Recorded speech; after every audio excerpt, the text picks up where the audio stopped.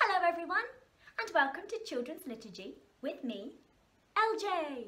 Now today is the 33rd Sunday of Ordinary Time, so our liturgical colour is still green, but not for much longer as we're coming towards the end of our church's year and we have a very exciting time coming up. But more on that next week. Today's message is all about our gifts. So shall we get started by singing our welcome song?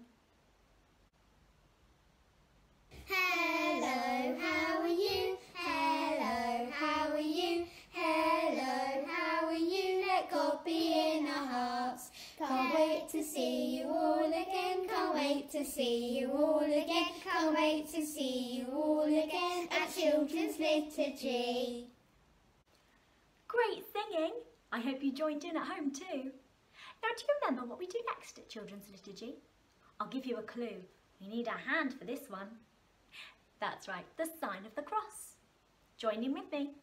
From my head to my heart, shoulder to shoulder, I love you, Jesus.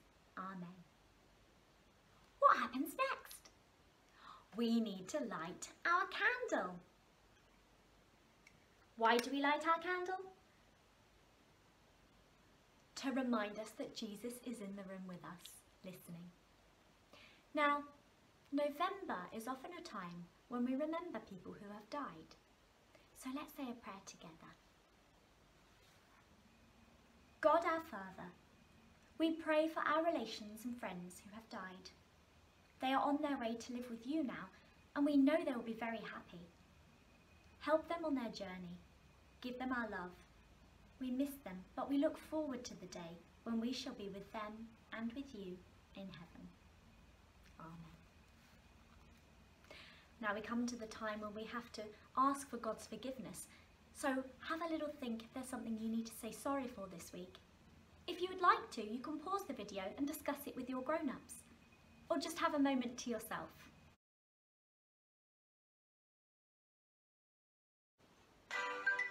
Are you ready to sing our sorry song? Here we go. When we say that we are sorry, God forgives. When we say that we are sorry, God forgives. If it's big or if it's small, we know God forgives us all. When we say that we are sorry, God forgives.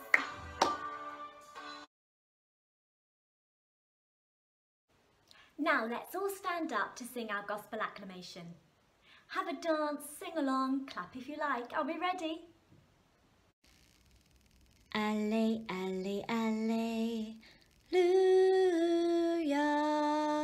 Alle, alle, alleluia.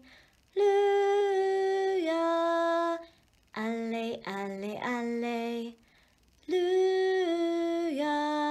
Alleluia, alleluia.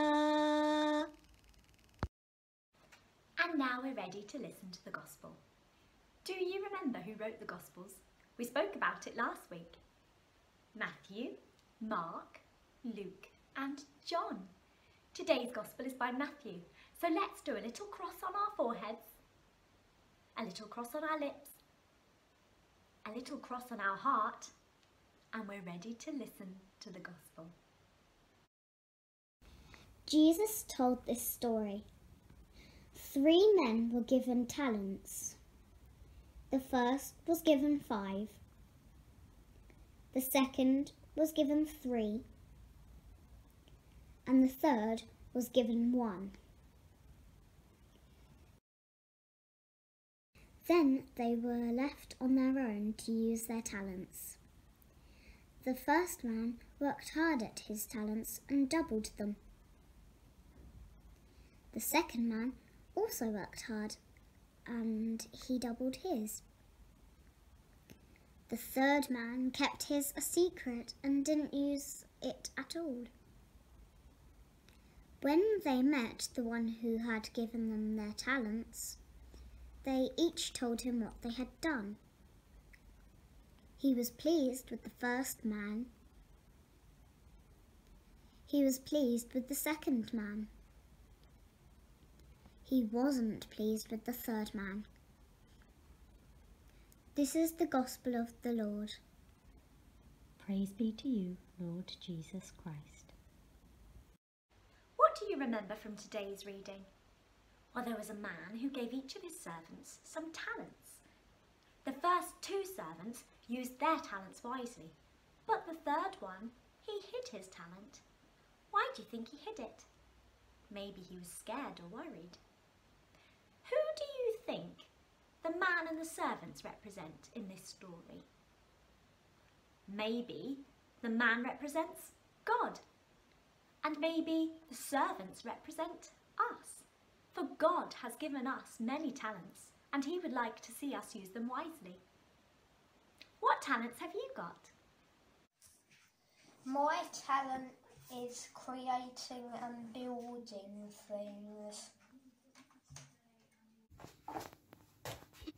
My hobby is gymnastics.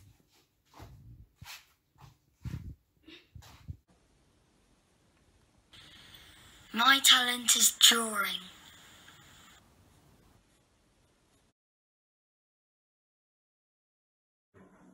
My talent is singing. La la la la la la la la la la la la la la.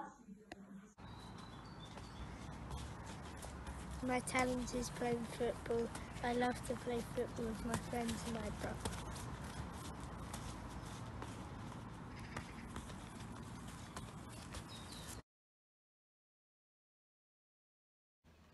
Great talents! What do you think Jesus is trying to tell us in today's parable? Jesus is telling us that it is important to use the gifts that God has given us. We are all good at different things.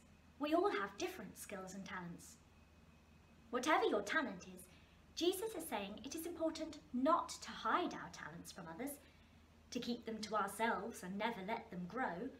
Instead, it is going out into the world by sharing our talents and our skills to help others that we serve God. Today you will need a piece of paper, a pencil and maybe some colouring pencils. For today's activity, I would like you to draw a self-portrait. That means a picture of yourself. Now, I've just drawn a stick figure, but feel free to let your artistic talents shine. If you're good at writing, label your picture with your talents.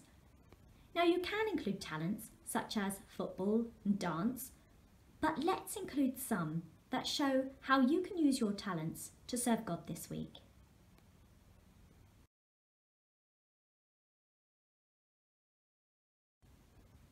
If you are a bit younger, perhaps you can use symbols or pictures instead of words.